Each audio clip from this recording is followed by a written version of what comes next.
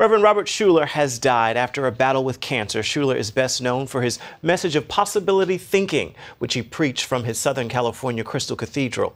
The church's Hour of Power television broadcast was seen by millions of viewers for more than three decades, but the ministry declined in recent years and filed for bankruptcy in 2010.